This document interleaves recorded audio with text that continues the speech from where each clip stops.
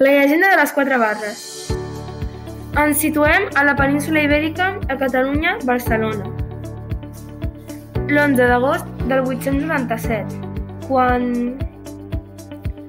A la batalla de Navès, cristians contra musulmans, produïda per l'ampliament de terres musulmanes per part dels cristians, Guifreu Pilós, comte de Barcelona, va resultar ferit, protegint el seu poblat. La llegenda diu que el rei Franc va venir a visitar-nos, va sucar els quatre dits de la mà dreta a la ferida del comte.